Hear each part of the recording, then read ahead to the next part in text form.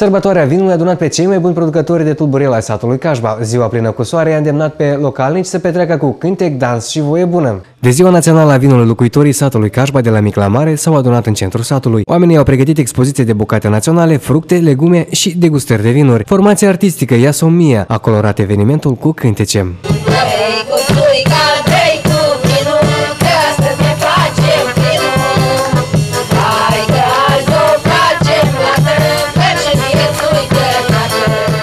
Casa de Cultură pentru Ziua Vinului a pregătit uh, un concert cu ansamblul Iasomie, în care am cântat cântete, cântece dedicate vinului, uh, care ne aduce distracția și voia bună.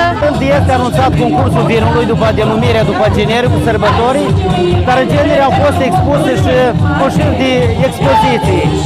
Uh, au fost bucate populare, bucatele tradiționale, produse de panificații și patiserie, au fost expuse expoziție de flori, amestecelor populare și tehnologii de prelucrare a vinului. Aceasta este sarcina autorităților locale de a promova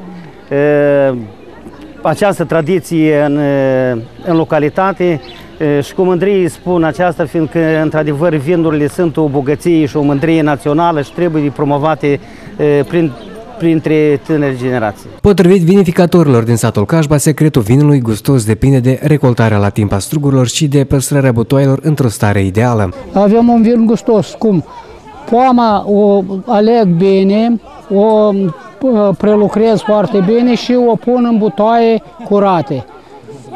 O sustrag de pe boștină și după aceea o scurg și o pun și fermentează și vinul îl dau în beș, de acum el e curat, e, și se așează și se face vin. Da, butoiul face vinul.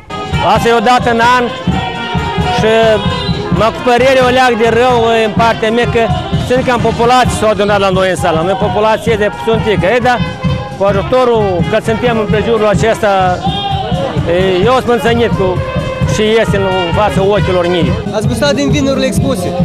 Am gustat, eu nu pot spun care e cel mai bun vin, dar la Cajba toate vinurile sunt bune, fiindcă sunt făcute de oameni cu suflet, cu dor de a face un vin. Premiul întâi pentru cel mai gustos vin de casă a revenit lui Vitalie Neamțu. Menționăm că în Republica Moldova Ziua Națională a Vinului a fost instituită acum 12 ani.